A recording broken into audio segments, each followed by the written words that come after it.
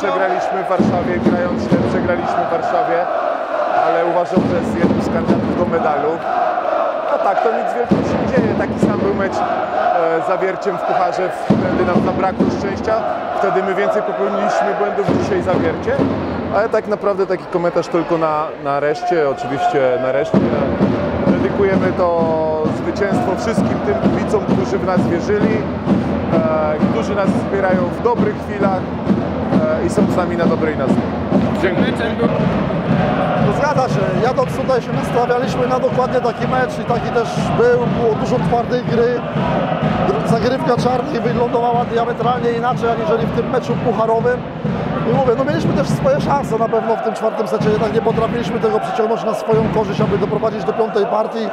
Cóż, no wielkie gratulacje dla Radomia, zagrali dobre spotkanie, my myślę również nie mamy się czego wstydzić, także teraz będziemy mieli chwilę przerwy, potem gramy dalej.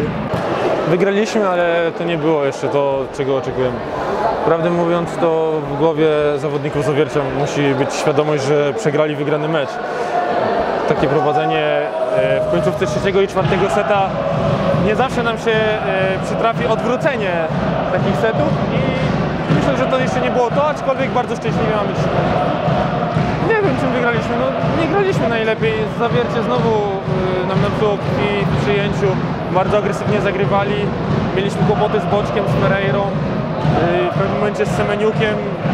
I no, to nie była nasza najlepsza gra, aczkolwiek tak jak powiedziałeś, no, dzisiaj to szarpnęliśmy, jak to, nie wiem, Haj to mówił, że z wątroby.